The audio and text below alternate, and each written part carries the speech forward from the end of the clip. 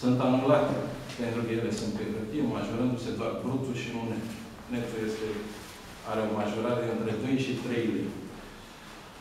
În al doilea rând, impozitul obligatoriu de 1% pe cifra de afaceri uh, este o penalitate, nu este o facilitate. Ca să fim înțelegi. PNL susține, această, susține că această măsură să fie una opțională, în sensul că toate companiile să poată, cele care au cifra de afaceri de până un milion de euro, să poată să aleagă între plata impozitului pe profit la cota de 16% sau impozitul pe cifra de afaceri uh, de 1%. Este, de fapt, forma reșapată a impozitului pe cifra de afaceri despre care Mihai Tudose a spus că a fost trecută la discutate și uitate. În al treilea rând, reducerea contribuțiilor la planul de părți. Mă refer la această măsură cu o singură idee, pentru că contribuțiile în sume nominale nu rămân la același nivel, așa cum a afirmat Ministrul Muncii. Ar fi rămas la același nivel dacă în urma transferului contribuțiilor cota pentru pilonul 2 era stabilită la 4,2% din salariul brut major. În fine, uh, ultima chestiune legată de bugetele locale, ce sunt tăiate în medie cu 20%, impactul, impactul național este de aproximativ 2 miliarde de euro. Bani care sunt luați cu japca și sunt uh, sacrificate șansele de dezvoltare ale comunităților locale. Cele mai lovite sunt localitățile cu număr mare de angajați din mediul privat. Adică acei, acel segment pe care PSD-ul nu răște și care se regăsește cel mai bine în uh, orașele pe care PSD-ul le pierde la alegerile locale sistematic. Banii luați de guvern sunt, de fapt, banii comunităților locale și acești bani au fost planificați pentru investiții, pentru proiecte. Dacă efectul global al măsurilor luate de guvern este nul, adică se întorc la stat aceiași bani prin modificarea sistemului de impozitare, de contribuții, de ce nu este de ce nu sunt lăsate autoritățile locale să păstreze acești bani ca și până acum se naște această întrebare. Calea corectă era ajustarea cotei din impozitul pe venit, care revine la nivelul local, astfel încât fondurile să rămână la același nivel. PSD dorește să avem o țară săracă, de oameni dependenți de stat, nu de oameni independenți, care au inițiativă.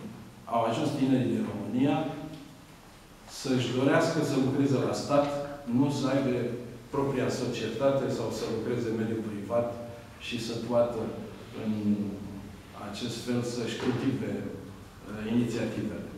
Și Craiova este afectată, să știți, de aceste măsuri. Veniturile din impozit, din impozitul pe venit sunt peste 40% uh, și în Craiova. Deci vom avea, din punct de vedere investiții, o Craiova decapitalizată. Primarii care și-au drămâit bugetele prin planificarea banilor pentru investiții, vor fi primii care vor pierde banii fiind mutați în bugetul central. Uh, fără parcuri industriale vom avea orașele, fără poduri, fără pasaje și vom asista la o încetinire a economiei pe termen lung. Suma de compensare va fi de, distribuită de bine în viitor. Ăsta este motivul pentru care nu mai putem vorbi de predictibilitate în domeniul fiscal. Uh, nici la constituirea bugetelor, nici la posibilitatea de a planifica investiții. Primarii, pare rău să spun, dar primarii se vor transforma într-o clasă de milogi, iar PSD-ul uh, va uh, spera că poate să-i șantajeze cu bani publici, așa cum au mai făcut începând de anul viitor. Nu mai există orașe independente din, de bugetul central, odată cu această măsură, ți se ia, spunând că ți se, că ți se dă uh, 11 milioane de euro, este excedentul primarilor care au reușit să strângă bani pentru investiții. Sunt exact banii de care guvernul are nevoie pentru promisiunile electorale.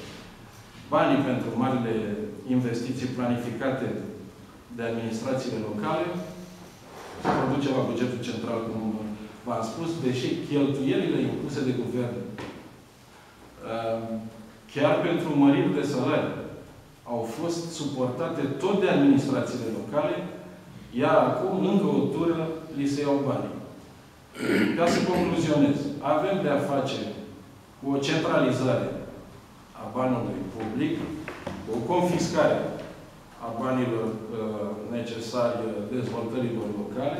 Guvernul face lucrul ăsta și uh, uh, cu ocazia asta pot să-și dea seama membrii ai acestui partid, PSD, de ce sunt considerați membrii a unui partid cu mentalitate comunistă. Pentru că are în reflex, are în fibră uh, luarea unor astfel de măsuri. Mulțumesc mult!